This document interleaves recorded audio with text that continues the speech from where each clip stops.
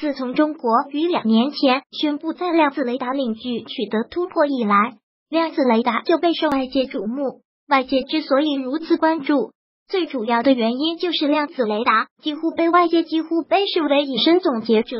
在刚刚闭幕的珠海上，中国电科幺四所终于展出了量子雷达的实物模型，让外界得以一睹量子雷达真容。该模型外形神似小黄人，相当吗？那么，这个萌萌哒的量子雷达，真如媒体所说的那么神吗？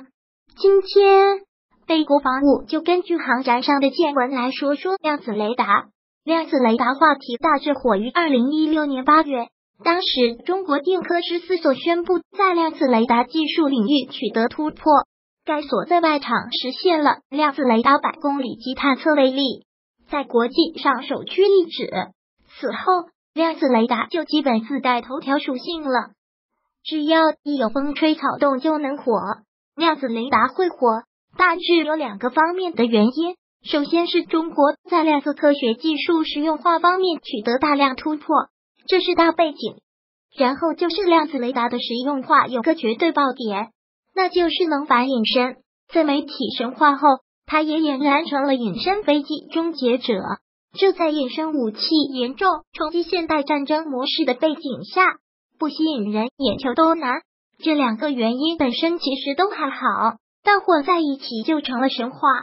如今很多媒体错误的在用前者去解释后者，典型就是量子雷达是在用量子纠缠原理来探测隐身飞机。隐身飞机面对量子雷达必然无处遁形云云。那么量子雷达真这么牛吗？牛是无可置疑的。但并非大部分人想象中的牛法。航展期间，我们到十四所的展台听了技术人员的讲解。很显然，他们对量子雷达被错误的神话是十分排斥的。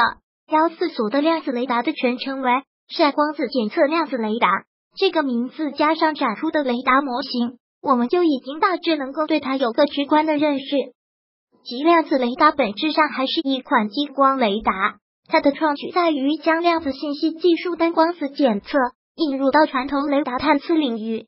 简单的说，量子雷达就是一道光射出去，然后经目标反射回来。小黄人模型上的两只眼睛就分别用于发射光和回收光。后端用量子技术进行检测，这个检测并不是使用现有的常规半导体探测技术，而是引入了超导单光子探测技术。因此，以往探测距离有限的激光雷达探测威力也能够大增。那量子雷达反隐身是怎么回事呢？这个问题我们可以结合米波反隐身雷达来理解。米波雷达能够反隐身，是因为它的工作的低频段避开了隐身飞机主要针对的 X 波段。目前的技术也只能在这一频段附近隐身，而光也可以看作是一种电磁波。如果说现有的米波反隐身雷达，视频段低到可以看到隐身飞机，量子雷达则是高到现有的隐身技术无法对此进行优化，也能可以看到。当然，如果未来隐身技术也发展到能全频谱隐身，量子雷达和米波雷达现有的这些反隐身特性优势，自然也就不复存在。但彼时也必然会有更新的反隐身技术出现。可以说，隐身和反隐身。是一个此消彼长的过程，我们应该客观看待，不能老指着有什么神器一劳永逸。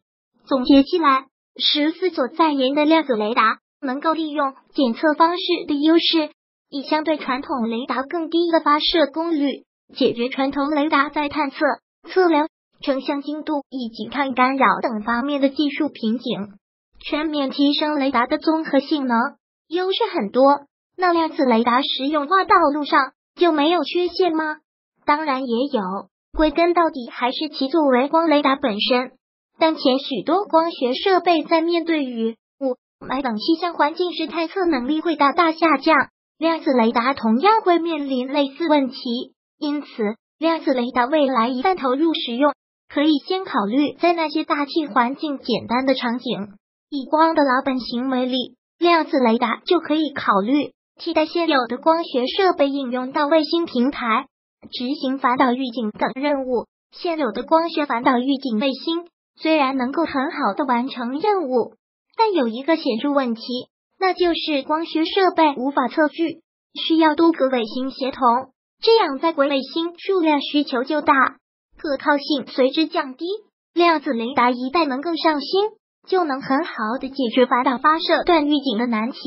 当然，正如新华社所报道，量子雷达研究方面，十四所已经具备了量子雷达系统设计、系统研制以及实验验证的初步能力，为后续进一步开展研究奠定了重要的理论和实验基础。量子雷达还处在验证阶段，要实用化，我们还得等待科学家们的更多好消息。如果喜欢本视频，请分享并订阅本频道，别忘了按赞哦！